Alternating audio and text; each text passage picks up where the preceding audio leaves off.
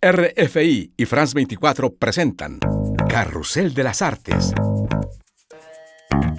Natalia Olivares.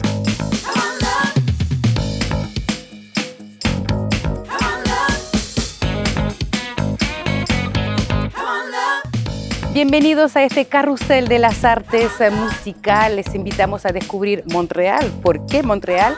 Por sus noches africanas. La ciudad más francófona de las Américas nos invita a descubrir su legado musical africano. Vibraremos con el festival Nuit d'Afrique a lo largo de este programa. Descubriremos nuevas tendencias como los ritmos de Kizaba. Montreal reivindica también una herencia latinoamericana en su historia musical. Stephanie Osorio promueve en Canadá la escena afrocolombiana.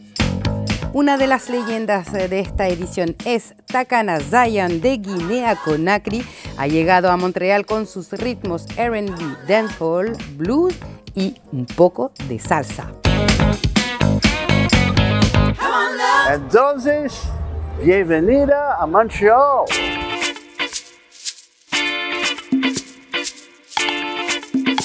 El festival Nuit d'Afrique celebra la música y también la africanidad de esta ciudad, una de las más cosmopolitas de Canadá. Para Vanessa Kanga, nuestra embajadora durante el viaje, nuestra embajadora cultural, parte de la historia musical de esta ciudad nace en su barrio, el barrio Côte de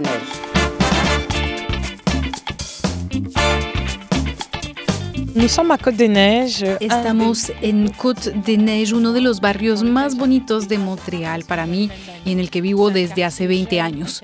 Es un barrio joven, dinámico y cosmopolita con 135 nacionalidades. Es uno de los más bonitos porque aquí encontramos gente que viene de África, de Asia, de Europa. Hay tres grandes universidades y una escena artística local extremadamente abundante en cuanto a artes visuales, con los murales, en cuanto a teatro y a literatura. Por aquí pasan muchos autores conocidos y es para mí un gran placer darles la bienvenida. La particularidad de este barrio situado en el centro de la isla de Montreal es que la cultura africana se vive a diario y a través de sus murales y su arte gráfico como testigos. À Montréal, en général, la première communauté afrodescendante. En Montreal, la principal comunidad afrodescendiente es de origen haitiano, pero aquí en Côte Neige también hay comunidades africanas. Mucha gente viene de R de Congo, de Camerún, Ruanda o Senegal. También hay gente anglófona de Ghana o Nigeria, por ejemplo. Pero yo diría que el corazón vibrante de la francofonía proviene de estos tres países, R de Congo, de Camerún y Senegal. Congo, Kinshasa, beaucoup Cameroun et Sénégal. En Côte de Neige, la cultura africana se ve y se escucha 24 horas al día y en periodo de verano esas sonoridades se desplazan para retumbar en los escenarios del festival Nuit d'Afrique, una institución en fusions. Es muy interesante escuchar todas las mezclas musicales posibles. Hay hip hop, salsa, cantos folclóricos indígenas, música electrónica. Hay mucha hibridación. Nos reúne una cultura ancestral, pero en torno a la música contemporánea de 2024. No puedes venir a Montreal sin pasar por Nuit d'Afrique. Es un mercado, es una extraordinaria plataforma de expresión y un encuentro de todas las culturas afrodescendientes, no solo las africanas.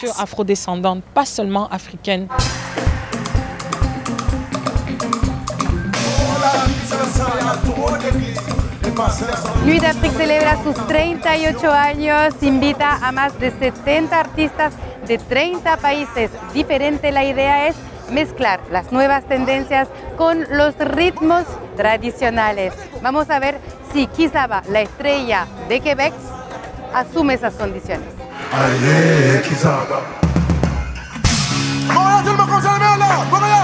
Si tu viens du Congo, on Yo vengo de República. Democrática del Congo y allí nos encanta bailar.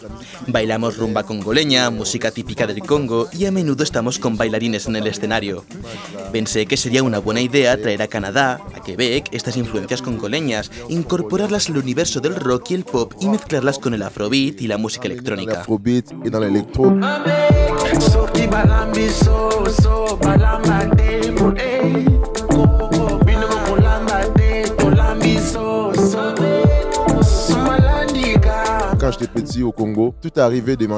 Desde pequeño, en el Congo mi abuela me enseñó todo. Ella era percusionista y cantante. Empecé a tocar percusión y a cantar canciones tradicionales con ella. En República Democrática del Congo hay miles y miles de músicas tradicionales. Además existen 255 lenguas y dialectos. Y esto significa también que existen 255 ritmos musicales. El ritmo de música. Isaba nombró su estilo afrofuturismo en una fusión del francés, inglés, kikongo y lingala.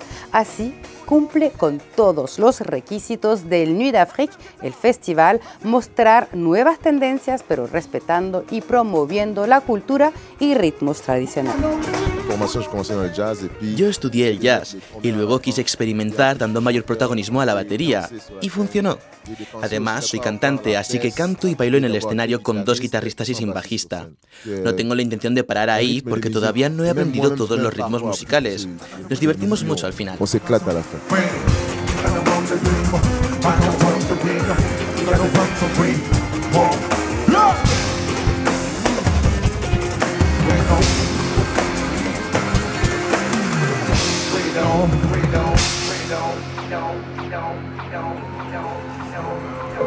La música latinoamericana y la africana son de la misma familia, así lo dice la historia.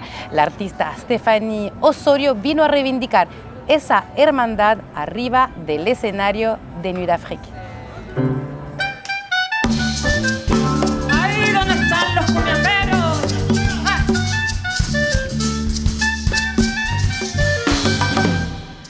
Sabemos que desde la conquista Cartagena eh, fue la cuna de la cumbia, ¿no?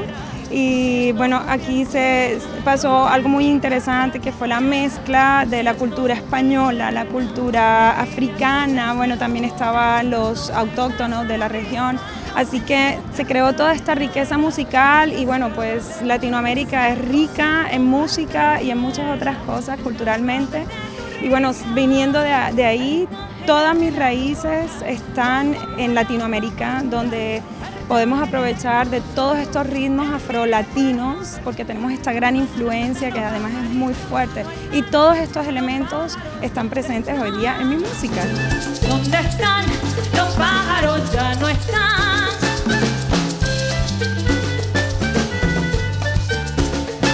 Galardonada Mejor Artista Femenina en los Latin Award Canadá de 2022 y 2023, Stephanie Osorio interpreta esa mezcla cultural afro-latina de la costa caribeña colombiana donde ella nació. Su objetivo es que no se pierda e incluso se conozca más y mejor fuera de sus fronteras. Los. Viviendo aquí en Quebec, donde hay una multiculturalidad, eh, es importante reunirnos y poder festejar toda esta riqueza cultural que cada persona trae de, de su país. Bueno, la música es universal y hay espacio para todos. Eh, en este momento el espacio es para el reggaetón, ¿cierto? Está muy fuerte y bueno, así como lo fue el rock en algún momento, así como lo fue la salsa en algún momento, y todos tenemos, eh, todas las, las músicas tienen un momento y un espacio, pero siguen vivas. Siguen vivas siempre haya personas que sigan creando en estos géneros, porque no podemos dejar morir nuestras raíces, tenemos que trascender con ellas. Mi estilo musical yo diría que es un pop afro-latino. Así como Stephanie Osorio, el artista colombiano Mateo vive en Montreal, donde se inspira de las músicas africanas. Así lo reivindica él con su música. Por tu boca me estoy quedando ciego. Históricamente, eh, la, la influencia afro en Latinoamérica ha sido simplemente innegable, enorme. En mi proyecto y en mi caso es mega importante porque tengo elementos afro-latinos, afrobeat, pop rock alternativos que vienen a, dar el sonido y la identidad a lo que somos.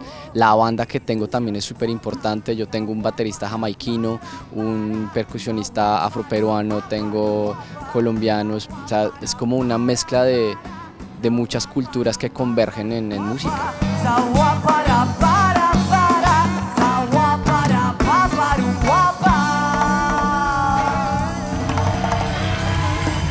Guinea Conakry también respondió presente al llamado de Montreal con la estrella internacional Takana Zayan llamado el profeta guineano del reggae.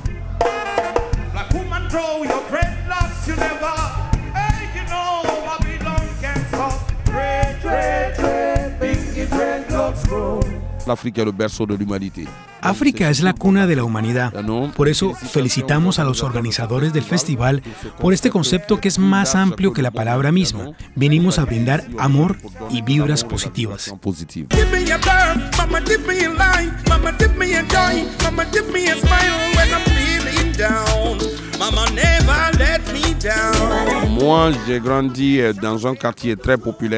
Crecí en un barrio muy popular, pero vengo de una familia muy poderosa. El linaje de mi padre es muy importante. Somos la séptima generación de hacendados de la ciudad donde crecí. Mi padre era político, vicepresidente de la Asamblea Nacional. Pero cuando decidí hacer música, tuve que dejar a mi familia y refugiarme secretamente en Bamako, en Malí. Trabajé duro para desarrollar mi personalidad. En una familia no podemos ser todos iguales. Se necesita un poco de todo y cada uno tiene su estilo. Yo elegí mi propio camino. Necesitaba alejarme. J'avais besoin de m'éloigner.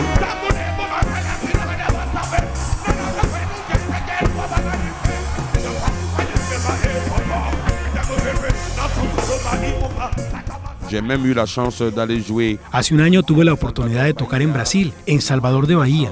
Tocamos con el grupo Ogun, que me entregó su cariño. Expresamos esa energía espiritual salvadora a través de la música. Algo que vi en los rostros de los afrodescendientes es que en el continente americano, incluso cuando no entienden las lenguas africanas, logramos comunicar.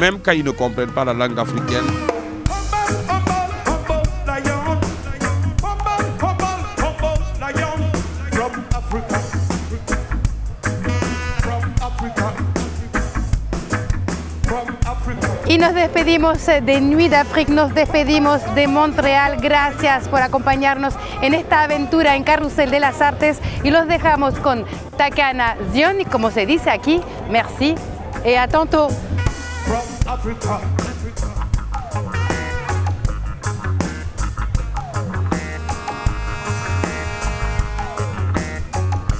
The.